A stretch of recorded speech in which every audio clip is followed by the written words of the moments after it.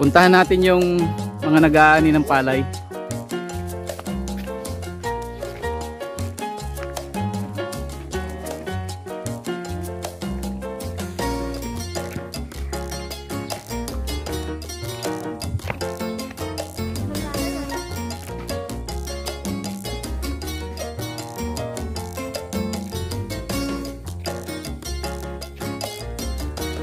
Yan po yung mga nag-aani ng alay, ng palay. Ginagapas lang po, mano-mano.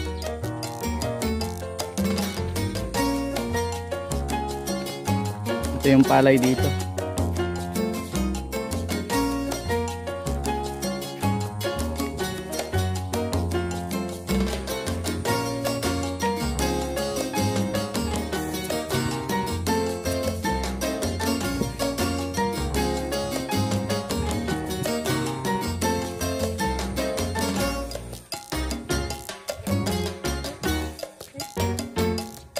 Mano-mano po hindi ginagamitan ng makina.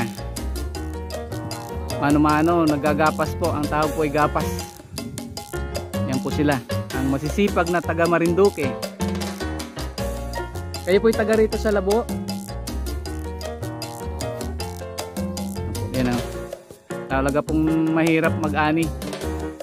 Kailangan ay talaga ay ma-appreciate po natin yung kinakain po nating bigas. Dahil yan po ay ate kanilang pinaghirapan. Yan po, iniipon muna. Saka abilad. Pagkatapos po niya na abilad niyo po yan. Ah, ganyan na diretso pong agilikin. Bago abilad. Hmm. Ay, pak, yapakapan pa. So mar maraming proseso bago natin kainin sa ating hapagkainan yung bigas. So napakahirap po ang ano. Yung maka kami, magtatanggal na ng palay. Ah, opo. Yan po.